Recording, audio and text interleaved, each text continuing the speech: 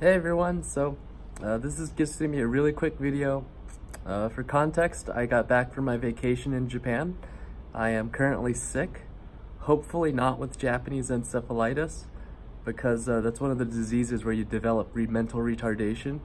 Uh, it's actually a real thing. Uh, seizures, encephal, uh, your brain gets swollen and then you die. There's no cure. I probably don't have that. Probably just a simple cold, but fingers crossed, guys. Um, so everything is, uh, I'm working really hard on clock. Uh, there's a few things to change. I got even more clock feedback. Um, so clock's coming along. Uh, other stuff's coming along. I'm doing catch up now because I literally just got back into the States last night. Uh, so this video is going to be a, an intelligent video. Uh, I haven't done one of these in years, it feels like. We're going to talk about chemistry and how I dye cubes. This is completely different from how I dyed cubes back in 2016.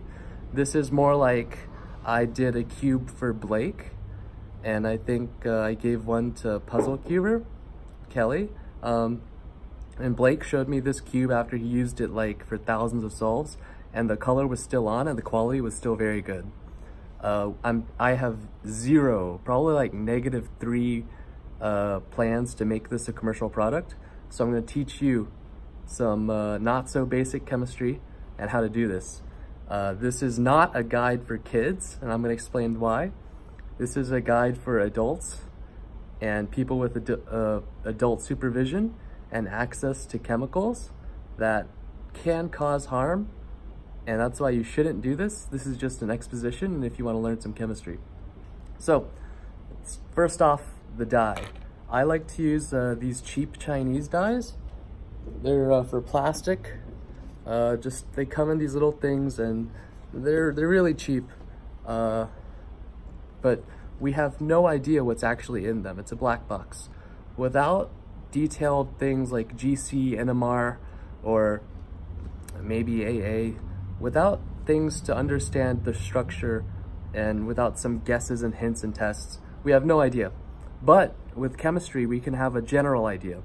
So dyes that go into plastic or organic dyes in general in the modern world typically have a bunch of rings to them. And this is because when you have a lot of rings and the electrons moving in the rings, they can catch certain wavelengths and they only tend to reflect certain wavelengths. This is the property of certain dyes with a lot of rings and nitrogens because those tune this wavelength to a certain part where uh, you get the color that you want. So uh, you got a lot of BODIPs, uh, cyanines, uh, something, uh, Malvines. They all have the basic concept of take one wavelength of light in, reflect certain wavelengths, and absorb them into the electrons so the electrons uh, get gain some energy and distribute it throughout the ring. Um, so we know for a fact that the dye is a ring structure with a lot of carbons with intermediate molecular weight.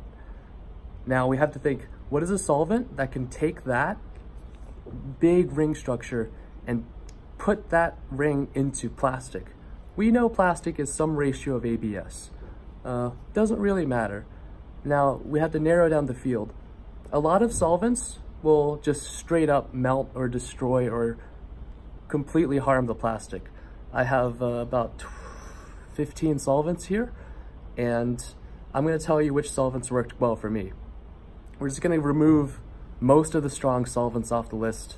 I see people online using uh, uh, ethyl acetate, methyl acetate, uh, acetone, the basic ones. No, you it's it's gonna dissolve the plastic and the plastic, it's not gonna have that nice sheen and any touching that you do to the plastic in, in between the dyeing process, it's gonna damage the surface finish later. You need a solvent that is very powerful, but is slow to dissolve the plastic. And when you go into solvents, you have to think, do we need a protic solvent, aprotic? Mm, viscosity, does do those things matter? Uh, sort of. So in chemistry, if you're working in a lab, one of your go-to solvents to dissolve almost anything to run an NMR sample is dimethyl sulfoxide, DIMSO. Uh, this is dirty because I use it.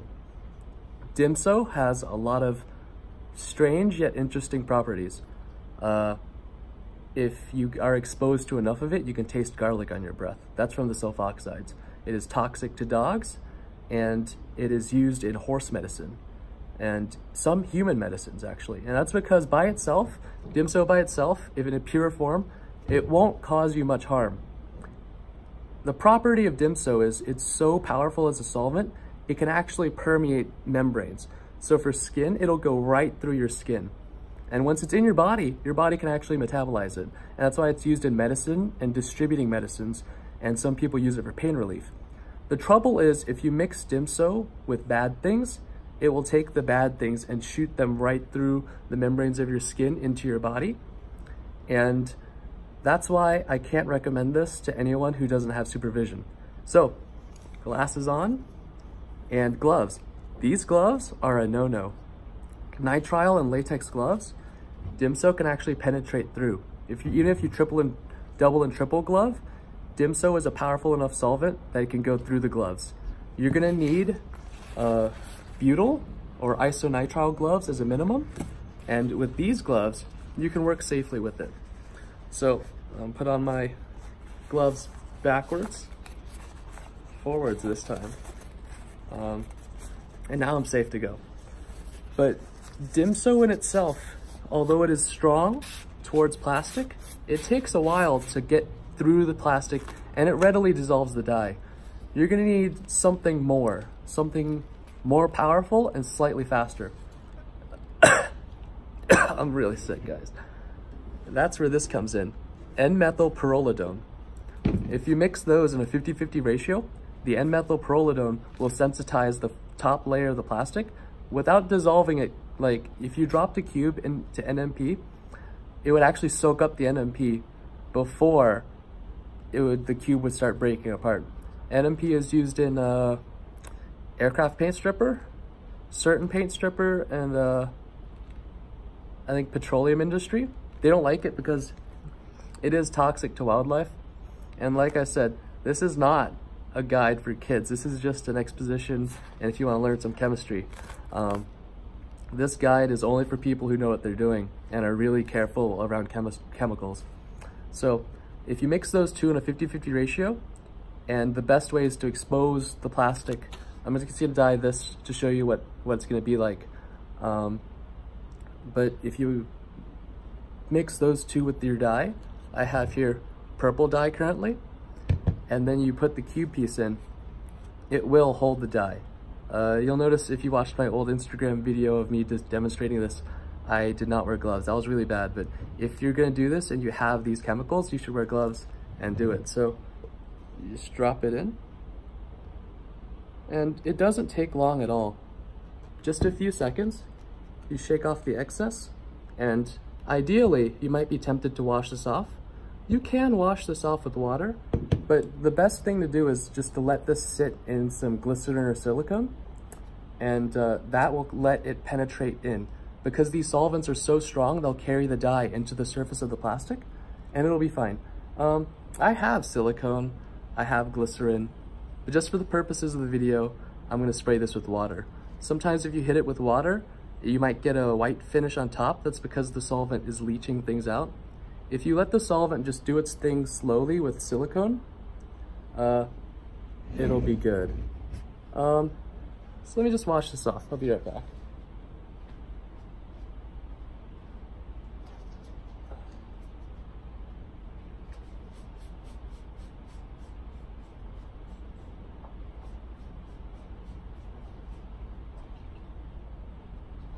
All right, so I've washed it off with this and you can see uh, there was an air bubble.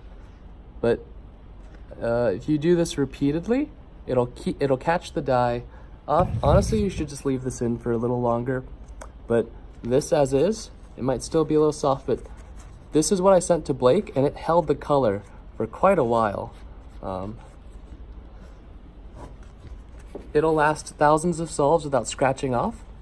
And that is how I dye cubes, by using a strong solvent that doesn't completely dissolve the plastic, but is easily absorbed, and it'll absorb in all the dye into the surface of the plastic.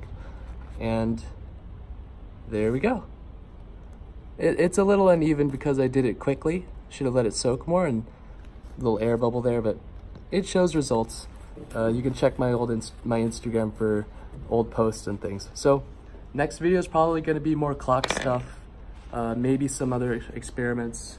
I am uh, debating writing some software for some fun things, uh, but it's a busy week.